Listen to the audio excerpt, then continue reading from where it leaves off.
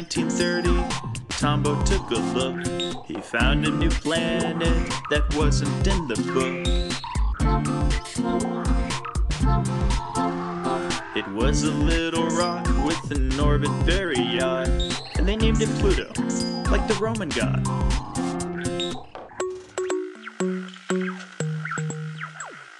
Poor, poor, poor Pluto, drowning your sorrow galactic pub. Poor, poor, poor Pluto, cause they canceled your tea time at the Planet Country Club. Pluto was a planet, as any child would know, but some picky science eggheads just wouldn't let it go.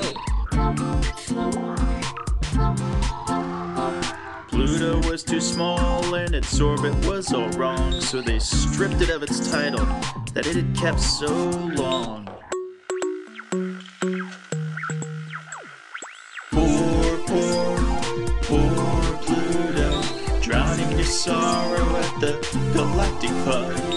Poor, poor, poor Pluto, cause they canceled your tea time at the Planet Country Club.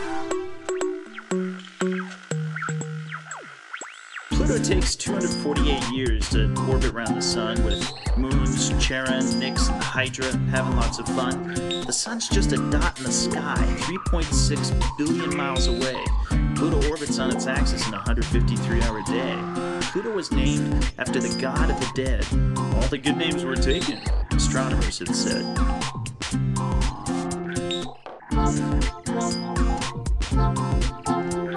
The eight remaining planets won't take Pluto's calls. They won't let him hang out at the solar system mall. So the object known as Xena brightened Pluto's day. Now they're reading comic books and uh, watching anime. They tease the other planets with immature wisecracks. Here are some of the things they say, at least behind their backs. Mercury is fast, So his girlfriend Venus says. Earth is all wet, and Mars is red. Jupiter is too fat, Saturn's rings looks tacky. and Neptune is all blue. Uranus,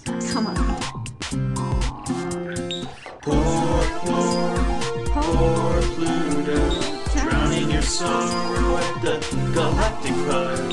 Poor, poor, poor they canceled your tea time at the Planet Country Club.